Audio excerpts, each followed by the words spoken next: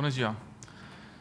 Activitățile derulate de Guvernul României pentru a rezolva problemele semnalate de liderii sindicatelor din educație au continuat și în aceste două zile și sunt în măsură să vă prezint continuarea implementării măsurilor pe care Guvernul le-a anunțat în aceste zile în care dialogul permanent pe care l-am derulat cu liderii sindicatelor din educație au uh, generat, iată, și uh, implementări ale măsurilor așteptate în sistemul din educație. Astăzi voi anunța faptul că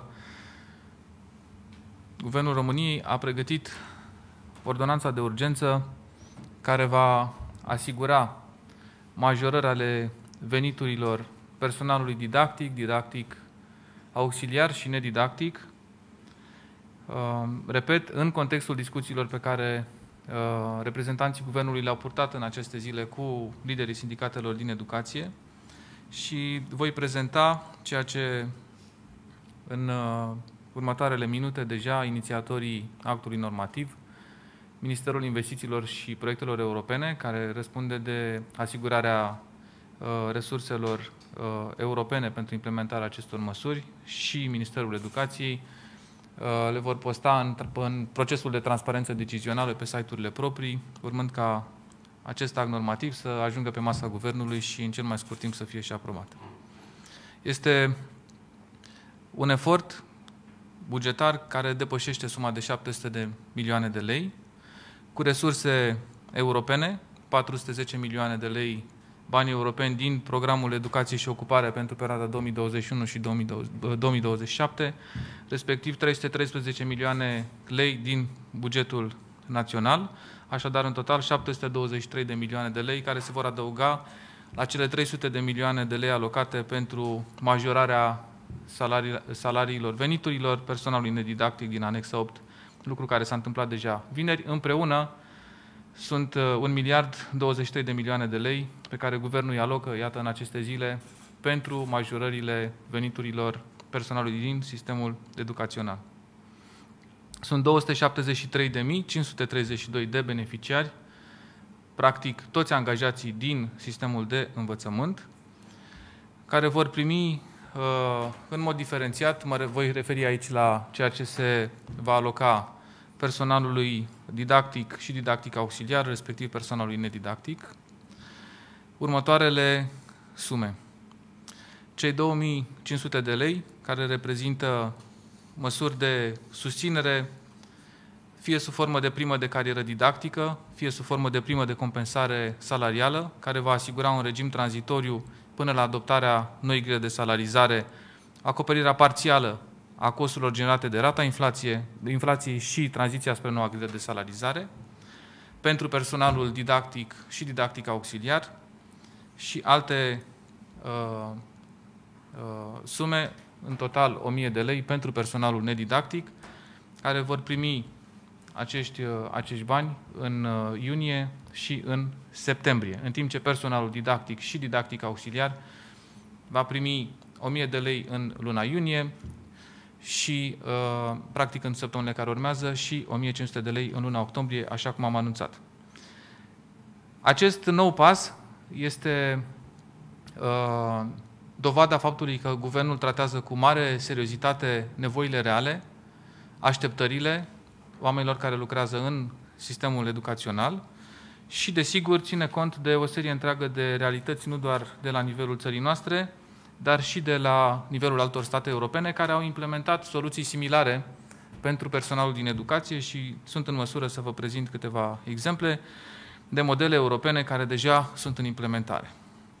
Indemnizația aferente altor sarcini și responsabilități este cazul Croației, Italiei, Muntenegrului, Lituaniei, Letoniei sau Norvegiei. Așadar, nu doar modele raportate la Uniunea Europeană, ci și la alte state europene. Indemnizații legate de calificări, pregătire și performanță, cum este cazul Franței, profesorilor din Croația, Muntenegru sau Italia, alocații aferente condițiilor de predare, cum este cazul Franței, sau alocații, plăți suplimentare sau compensații financiare bazate pe alte criterii, cum se întâmplă în Bulgaria, Franța, Croația și Polonia. Acestea sunt doar câteva repere europene care arată faptul că există o preocupare la nivelul multora dintre guvernele uh, de pe continent pentru a compensa pentru a interveni cât mai rapid și cât mai concret în sprijinul personalului din educație. Cel de-al doilea lucru pe care aș vrea să vi-l comunic și care corespunde de asemenea așteptărilor și solicitărilor liderilor sindicali și ale personalului din educație este faptul că din dispoziția domnului prim-ministru Nicolae Ciucă, începând uh, de mâine, ministrul muncii, domnul Marius Budăi, începe deja dialogul cu reprezentanții sindicatelor, desigur începând cu cei a educației, dar nu numai, pentru noile grile ale viitoarei legi a salarizării. Am anunțat deja zilele trecute accelerarea calendarului, devansarea sa uh, pentru data de 15 iulie. Era fixat ca termen în PNRR sfârșitul acestui an, în decembrie, dar iată că 15 iulie este termenul asumat la nivelul guvernului pentru a avea uh, noile grile ale salarizării personalului din sistemul bugetar uh, și pentru a câștiga timp, deoarece 15 iulie este termenul până la care experții Băncii Mondiale sunt așteptați să-și prezinte opinia, analizele și viziunea privind cum ar trebui să arate noile grile ale salarizării din sistemul public. În paralel, pentru a reuși să comprimăm cât mai mult etapele necesare pentru a ajunge la o variantă finală și corectă a sistemului de salarizare publică din România. Ministrul Muncii va începe, așadar, începând de mâine, consultările, discuțiile, dialogul cu reprezentanții sindicatelor din toate domeniile, începând cu educația. Este una dintre solicitările pe care liderii sindicali le-au adresat și iată, guvernul prin ministerele responsabile, în cazul nostru ministrul, ministrul muncii, Ministerul Muncii, uh, demarează uh, rapid, devansând inclusiv procesul de uh, dialog pe această temă. Ce aș vrea să vă mai spun este că până miercuri, când va avea loc ședința de guvern, premierul a cerut Ministrului Muncii ca acest dialog să se realizeze accelerat cu toți reprezentanții sindicatelor, începând cu educația, așa cum ne-am angajat și educația este pentru acest guvern o prioritate și se va păstra ca prioritate la nivel național și în viziunea pe care viitorul program de guvernare, care va deveni lege prin votul în Parlament, uh, o să consfințească. Uh, aceasta din perspectiva garanțiilor necesare pentru sistemul educațional, în contextul în care întregul dialog care s-a purtat până acum a avut în vedere nevoia de a oferi aceste garanții, că da, salariile profesorilor, salariile celor din sistemul educațional se vor regăsi la un nivel superior celui pe care, din păcate, și știm acest lucru deja, acest lucru cu toții, actuala legea salarizării 153 și l-a epuizat ca potențial. Este nevoie de o nouă lege care să ofere posibilitatea de a avea venituri mai mari, profesorilor, educatorilor și tuturor celor care lucrează în sistemul educațional. Așadar, mâine începe dialogul guvernului prin intermediul Ministrului Muncii cu toate categoriile sindicale, începând cu educația, va continua cu cei din sistemul sanitar, cu cei din transporturi, cu toți. Astfel încât, miercuri, la ședința de guvern, să poată avea loc o discuție, o analiză în interiorul executivului privind formula optimă, privind salarizarea în sistemul bugetar. Desigur, și spun acest lucru pentru că și calendarul uh, educațional și perspectiva închiderii anului școlar și uh, examenele, evaluările care îi așteaptă pe copiii noștri, pe tineri, mă refer la cei din clasa 8 sau la cei din clasa 12 în mod special, au nevoie ca atât copiii cât și profesorilor să fie în școală, să fie în clase, pentru a putea uh, încheia cu bine acest an școlar. Așadar, alături de deschiderea pe care uh, guvernul o arată și înțelegerea corectă a situației semnalată de uh, sistemul educațional din România, inclusiv prin intermediul liderilor sindicali, avem acest apel care este susținut în primul rând de nevoia pe care copiii noștri o resimt în această perioadă de a merge la școală, de a încheia anul școlar și de a-și putea susține examenele pentru clasele care se află în această situație. Este un apel corect, de a putea relua cursurile. Vă rog. Ar urma să înceapă înscrierile pentru examenul de bacalaureat. Deocamdată, Ministrul Educației, doamna Decan, nu a amânat în mod oficial aceste înscrieri. În schimb, cumva a păsat toată răspunderea pe directorii de școală. Este clar că nu au cum directorii de școală să se ocupe de toate aceste înscrieri și am vrea să știm ce face până la urmă Ministerul Educației, pentru că n-a mai rămas nici o zi. Bun, este, este un calendar care se întinde pe câteva zile. El diferă în raport cu ceea ce se întâmplă cu elevii care sunt acum clasa 8 și se pregătesc uh, pentru liceu. Diferă calendarul așadar de cel al celor care se află în clasa 12 și se pregătesc pe de o parte de bacalaureat, dar și de uh, apoi de înscriere la facultate.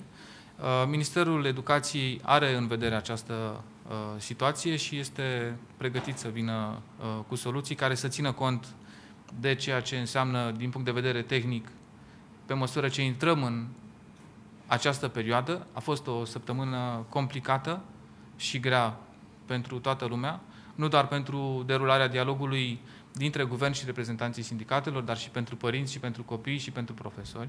Și după această săptămână extrem de complicată, uh, ne așteptăm să găsim înțelegerea necesară într-un context în care, iată, guvernul Uh, vine cu măsuri concrete, nu vorbim de promisiuni, vorbim de măsuri concrete care sunt implementate și de deschidere la dialog dublată de uh, atingerea practică a solicitărilor pe care liderii sindicali le-au uh, adresat și nu e vorba doar de sistemul educațional. Vă spuneam că Ministerul Muncii va demara în regim de urgență discuțiile cu toate categoriile uh, bugetare pentru a găsi formula echitabilă, corectă și nu doar pentru că așa este nevoie uh, uh, în cadrul acestui jalon privind legea salarizării, care are ca termen finalul anului, ci pentru că este o nevoie socială reală pe care guvernul uh, o înțelege ca atare și o tratează cu prioritate. Dar concret, am putea asista la o amânare a acestui uh, calendar, o decalare? Cred că este prematur să discutăm despre acest lucru acum. Contăm foarte mult pe uh, rezonabilitatea, responsabilitatea și capacitatea de a înțelege uh, în mod corect situația în care se află în primul rând copiii noștri acum. Mă raportez în egală măsură la liderii sindicali care au o experiență uh, profesională importantă în interiorul sistemului educațional, dar și una de responsabilitate socială, deoarece majoritatea domnilor lor au un exercițiu de reprezentare de ani de zile, poate unii dintre ei de zeci de ani de zile, și cunosc semnificația, importanța, uh, impactul, consecințele dacă doriți, unor astfel de demersuri într-un astfel de context. Și contăm foarte mult, nu doar pe buna lor credință, ci și pe capacitatea lor de a înțelege în mod corect această situație și disponibilitatea acestui guvern, care, după ce a alocat 8 miliarde de lei în plus pentru sistemul educațional în ultimii doi ani, într-o perioadă extrem de complicată, iată, găsește resurse în continuare, nu doar de dialog, ci și financiare. Vă spuneam mai devreme, un miliard de lei este valoarea doar a acestor măsuri, cea luată vineri pentru personalul nedidactic, care merge la maximum grile de salarizare, potrivit actualei legi, și uh, cea care vizează măsurile de susținere pentru cadrele didactice și nedidactice, uh, ca formule tranzitorii până când, iată, noua lege a salarizării reușește să garanteze, să certifice și să uh, consolideze recunoașterea rolului pe care uh, sistemul educațional îl are în orice societate care își dorește un viitor mai bun pentru copiii săi. De asemenea, am dorit să știm care este rolul doamnei ministru Deca în aceste negocieri pe care le va duce domnul Budăi zilele viitoare, pentru că ne gândim că ministrul educației cunoaște cel mai bine sistemul și ar trebui să negocieze cot la cot cu ministrul muncii în condițiile în care vedem că sunt semnale că sindicaliștii nu vor accepta nici măcar această variantă. Uh, n-aș vrea să uh, comentez uh, o posibilă reacție la un anunț pe care l-am făcut acum câteva minute. Pot să vă asigur că doamna ministru Deca, uh, având o experiență importantă, mă refer acum și la uh, uh, viziunea domniei sale, care a stat la uh, forma consolidată a actualei, uh, să spunem, formule legislative, uh, legile educației care vizează învățământul preuniversitar, învățământul universitar recent votate de Parlament, dar și dialogul constant pe care domnia sa l-a purtat cu liderii sindicali. Cu siguranță că implicarea domniei sale este relevantă, ca și implicarea celorlaltor miniștri de linie pentru fiecare segment. am spus că domnul prim-ministru i-a cerut domnului ministru al muncii să demareze acest dialog cu toate categoriile sindicale care reprezintă sistemul bugetar, tocmai având în vedere, pe de-o parte, prioritatea pe care educația o reprezintă în acest moment, dar și nevoia de a angaja acest dialog din timp într-un context în care vorbim de o lege a salarizării unitare, care să integreze, practic, într-o formulă echitabilă și echilibrată toate formele de reprezentare și de susținere financiară pentru ceea ce oamenii angajați în sistemul public, în sistemul bugetar, uh, îl așteaptă. Uh, și în acest context, desigur, când vorbim de educație, uh, Ministrul Educației, când vorbim de sănătate, Ministrul Sănătății și așa mai departe, fiecare ministru de linie care poartă răspunderea administrării domeniului pe care îl, îl păstorește, își păstrează angajamentul activ, mai ales într-un astfel de moment în care lucrurile trebuie armonizate și uh, gestionate într-o formulă corectă pentru toată lumea. Deci va participa și doamna Deca la aceste uh, negocieri de, fizic. Detaliile concrete ale formatului negocierii îl stabilește Ministrul Muncii care gestionează acest proces. Nu putem face abstracție de responsabilitățile unui minister de linie, dar rolul de integrator pe care Ministrul Muncii, în mod natural, îl are pentru legea salarizării, care este o componentă esențială a exercitării mandatului său și a responsabilităților pe care le are Ministerul Muncii din orice uh, țară, uh, este unul principal și acesta este rolul uh, mesajului pe care domnul prim-ministru l-a transmis, tocmai pentru a uh, credibiliza rapid demersul necesar pe care societatea îl așteaptă, având însă în vedere că educația este o prioritate uh, asumată la nivelul guvernului. Mulțumesc! Mulțumesc! Domnule Cărbunaru, mai concret, ce vor putea face profesorii didactici, auxiliari, nedidactici cu acele prime, că nu le mai numim voucher educaționale, le numim prime. Ce vor putea face cu acești bani? Uh, dacă ne referim la prima de carieră didactică, aceasta are rolul de a susține cadrele didactice în eforturile de a îmbunătăți competențele educaționale și de a obține performanțe școlare în procesul educațional. Veți putea regăsi de alminteri în detaliu explicat atât uh, rolul acestor resurse financiare suplimentare alocate de guvern. Repet, sunt peste 720 de milioane de lei care vor fi uh, alocate în acest sens, dar și uh, uh procedura în sine care ține de modul în care uh, banii vor ajunge la oameni. Cea de-a doua chestiune care ține de prima de compensare salarială, rolul acesta este să asigure un regim tranzitoriu până când noua grilă de salarizare uh, intră în vigoare și care acoperă în bună parte costuri generate fie de rata inflației, fie de tranziția către noua grilă de salarizare, lucruri care de asemenea s-au regăsit în solicitările pe care liderii sindicali le-au transmis către guvern. Deci sunt două formule care împreună agregă acest pachet despre care vă vorbeam și care este susținut pe de-o parte de, uh, uh, de finanțare europeană, 410 milioane uh, și uh, cei 313 milioane care uh, provin din fondurile naționale, mă refer la, mă refer la lei. Deci să înțelegem că profesorii vor putea cu acești bani să-și cumpere, de exemplu, cursuri profesionale, penare, pixuri?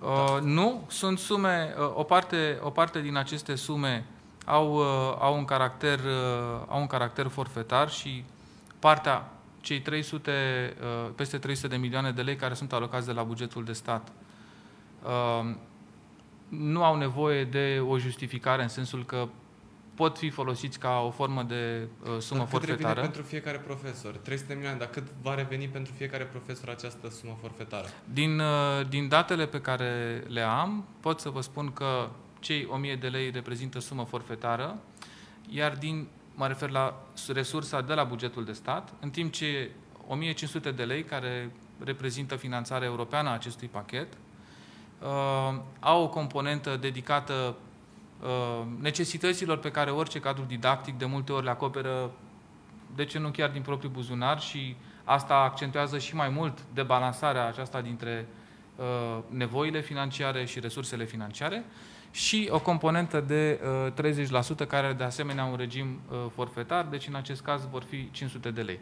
Deci dacă ar fi să reiau, uh, ar fi un principiu forfetar de 1500 de lei la baza acestui pachet din cei 2500, în timp ce diferența de uh, 1000 de lei uh, este alocată mai degrabă susținerii uh, nevoilor uh, pe care cadrele didactice sau didactice, nedidac, didactice auxiliar le-au de gestionat în viața de zi cu zi. Deci, să înțeleg așa, în iunie, 1000 de lei, prima din iunie pentru profesori, și 500 bani, de lei pentru personalul nedidactic. Da, acești bani vor putea fi folosiți pentru orice, fiind, fiind uh, sumă forfetară, vor putea fi folosiți de, pentru orice, ca venit uh, pentru bugetul personal. Pentru completarea veniturilor. Da, pentru completarea da? veniturilor, iar apoi în octombrie, da. din acei 1500 de lei, 1000 de lei vor fi folosiți pentru, cum am spus, cursuri profesionale sau ce alte Sau alte materiale necesare în exercitarea în profesiei Și didactice. aproape 500 de lei sau 500 de lei din aceștia vor fi la fel o altă sumă care să completeze ca, venitul. Ca întotdeauna ați înțeles foarte bine. Vă mulțumesc frumos! Mulțumesc și eu! Mădălina Chițu, Televiziunea Română, propunerea pe care ați anunțat-o mai devreme este o propunere refuzată de către sindicate. De ce ați venit cu o astfel de, una, cu astfel de propunere? Deși Pentru sindicatele este... au spus foarte clar că nu vor renunța la grevă dacă nu vor obține 25% mărire salarială. Nu este o propunere, este o măsură. Și uh, măsura pe care uh, guvernul a aprobat-o vineri, spre exemplu, care ține de uh, majorarea veniturilor personalului nedidactic. 55.000 de oameni dintre cei 274.000 care uh, lucrează astăzi în sistemul educațional din România și care nu au neapărat venituri foarte mari și care reușesc, printr-un efort uh, de la bugetul de stat consistent, 300 de milioane de lei, să urce la, nivel, la rândul lor la nivelul maxim pe care actuala legea salarizării 153 Uh, le oferea ca posibilitate. În timp ce personalul didactic sau didactic auxiliar deja atinsese acest maxim. Ceea ce guvernul a făcut vineri a fost să rezolve această problemă care afecta o parte din funcționarea sistemului educațional și să continue cu măsuri pe care vă spuneam mai devreme și alte state europene le-au implementat, tocmai pentru a veni în sprijinul unei categorii uh, profesionale semnificative nu doar prin număr, pentru că 30% din bugetarii din România sunt în sistemul educațional, dar și pentru a accelera, dacă doriți, efectele așteptate ale unei uh, susțineri, ale unei atenții speciale acestui sector de activitate la nivel guvernamental. În paralel, și spun acest lucru pentru că avem nevoie de o viziune de ansamblu, nu doar în privința contextului, toată lumea cunoaște dificultățile prin care trece întreaga lume din perspectivă economică, dar așteptările sistemului educațional sunt concrete și ele trebuie să-și găsească soluții. Desigur, acumulările multora dintre nedreptățile, inechitățile sociale, salariale, după 1989 în România, pot acoperi volume întregi. Nu o să intru în aceste detalii acum. Acest guvern însă continuă ceea ce a început încă de la instalare. Să rezolve cât poate de mult din aceste inechități, să o facă într-o manieră sustenabilă, care să nu ofere oamenilor speranțe de șarte, și să vină cu lucruri concrete care să apropie completarea acestor venituri de ceea ce oamenii au nevoie pentru a putea trăi decent, pentru a putea să-și acopere nevoile personale și profesionale. De aceea, măsura pe care guvernul a anunțat-o și pe care, iată, prin această uh, ordonanță uh, de urgență care este publicată astăzi în transparență decizională și care este rolul muncii pe care ministerele uh, de resort uh, au făcut-o în aceste zile pentru a arăta că nu sunt doar promisiuni, nu sunt oferte, sunt măsuri pe care guvernul le implementează și care nu sunt punctuale în sensul limitativ. Aceasta face guvernul acum, după care nu mai face nimic. Guvernul va continua să facă lucruri. A implementat anexa 8, acordă aceste măsuri care totalizează peste 700 de milioane de lei și nu este un efort bugetar, credeți-mă, foarte mic. Desigur, nu acoperă toate nevoile din sistem și tocmai de aceea, prin dialog, vom găsi noi măsuri pentru a ne apropia de ceea ce oamenii așteaptă. Noi faptul că, și cu asta închei, faptul că noua legea salarizării, care are principalul rol de a rezolva aceste inechități reclamate de oameni. Profesori, medici, alte categorii de uh, bugetari. Nu mai așteaptă luna decembrie pentru a vedea cum arată ea ca soluție, ci este devansată până la 15 iulie, care înseamnă practic o lună și jumătate începând de acum, șase săptămâni. Asta arată că guvernul înțelege nevoia societății de a clarifica aceste lucruri. Desigur, e nevoie și de resurse pentru asta și acesta este rolul analizei Băncii Mondiale pentru a vedea cum echilibrează la nivel bugetar această abordare.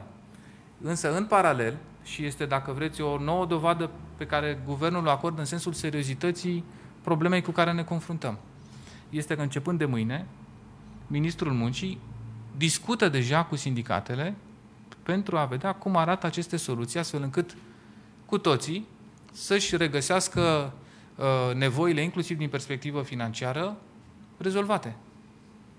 Într-o manieră sustenabilă, care să evite lucrurile care s-au întâmplat până acum și la care am ajuns tocmai pentru că în locul unei abordări integrate, în care toată lumea să-și înțeleagă rolul, locul și pachetul financiar, au fost abordate soluții punctuale care au generat dezechilibre, care au antrenat apoi alte dezechilibre în lanț și este misiunea, rolul acestui guvern acum să gestioneze această situație, de care nu fuge. Măsura anunțată a fost agreată de sindicaliști, pentru că sindicaliștii spun că nu sunt de acord cu uh, aceste majorări, sunt prea puțini, banii sunt prea puțini și ei vor 25%. A fost agreată cu sindicaliștii sau guvernul a decis pur și simplu, fără să țină cont de revendicările sindicaliștilor? Guvernul ține cont de revendicările sindicaliștilor, de aceea ne întâlnim cu ei. De aceea, fost... de, de aceea de, de aceea de aproape două săptămâni discutăm sau ne întâlnim aproape zilnic pentru a ajunge la o înțelegere. Este principalul o refuzată scop, de sindicaliști. Principalul scop al acestui dialog fiind derularea procesului educațional. Deoarece copiii noștri, la ora la care vorbim, nu sunt la școală, în bună parte. Și este și cazul profesorilor lor. Într-un context extrem de delicat, în care părinții sunt îngrijorați, copiii sunt derutați, iar dialogul dintre guvern și sindicate trebuie derulat într-un asemenea mod încât să, duce, să ducă la o deblocare. Ceea ce vă spuneam este că măsurile pe care guvernul le introduce acum și care se regăsesc deja în majoritatea statelor europene, în, indiferent de formula aleasă ca denumire, sunt diverse pachete de majorări salariale sau de majorări de venituri, dacă doriți, care să compenseze problemele acumulate în sistemele de educație din mai multe state europene. Și România este unul dintre ele. Guvernul României se așteaptă ca prin adoptarea acestor măsuri greva să înceteze?